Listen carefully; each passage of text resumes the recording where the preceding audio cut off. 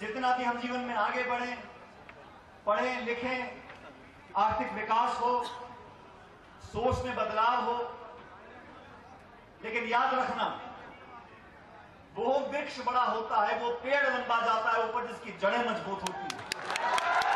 अगर अगर हम लोग अपने इतिहास को भूल जाएँ, अपने परिवार समाज को भूल जाएँ गाँव ढाड़ी जहाँ से हम निकल कर आए हैं उनकी अवमानना करें, उनको मान सम्मान ना दें।